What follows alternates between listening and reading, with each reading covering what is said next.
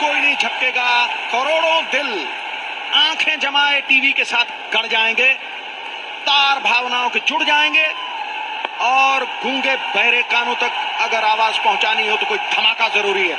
यही है वो धमाका। पहला चौका। प्रिडिक्टेबल हो गए कुछ, और तैयार थे कामरान अकबल। खराब बॉल और नतीजा अच्छा पाकिस्तान के लिए। शिकंजे अंदर चिंज बेलन विच गन्ना। फंसी हुई है जान।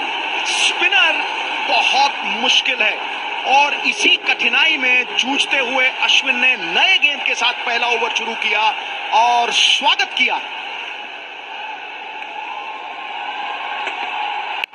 और यही ज़रूरी है, लेकिन यहाँ करारा प्रहार। ताबड़तोड़ फेंके शोर आजमाइश और शक्तिशाली आदमी अगर शक्ति नहीं करेगा शक्ति प्रदर्शन नहीं करेगा तो निंदा और अपेक्षा का पात्र बनेगा। ज़िम्मेदारी को बाखूबी निभाया।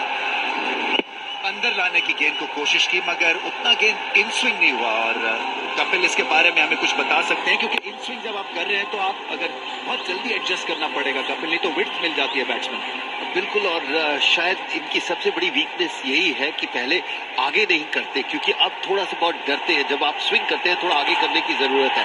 ये बेहतर बॉल है रिस्क लिया है और ये रन आउट के लिए, ये आउट कहने की ज़रूरत नहीं है। वापस गए अपनी गलती से। बहुत ही बड़ी जीत भुवनेश्वर के लिए। और अपनी गलती का खामियाजा भुगतना होगा। डूबते आदमी को दोनों रस्सी के छोर फेंक दिए। सुसाइड सुसाइड कप्तान आ गए हैं नंबर तीन पे मोहम्मद हफीज। और अच्छी फॉर्म में है। लिमिटेड ओवर्स का फॉर्मेट अच्छा खेलते हैं और बहुत ही अच्छे ऑलराउंड क्रिकेटर हैं। ये मुझे समझ नहीं आई, इस कॉल की समझ नहीं आई। बॉल को देख रहे थे, इनके पार्टनर भागे, उसके बाद देखिए वापस भिजवा दिया। तब तक कोई चांस नहीं था। कामरान, अकमल, बस इसी सहारे ज़िंदा थे कि गेंद मिस कर जाती।